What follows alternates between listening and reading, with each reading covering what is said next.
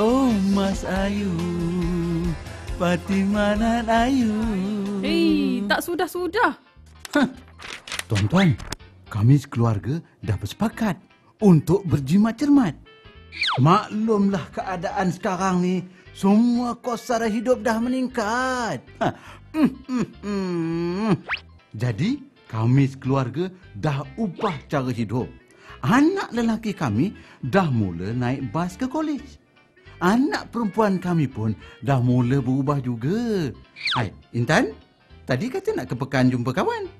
Tak jadilah, Abah. Intan nak cuba berjimat. Ah, baguslah kalau macam tu. Dalam keadaan sekarang ni, kita kenalah bijak merancang perbelanjaan kita. Kami sekeluarga dah mula berjimat. Tuan-tuan, bila lagi?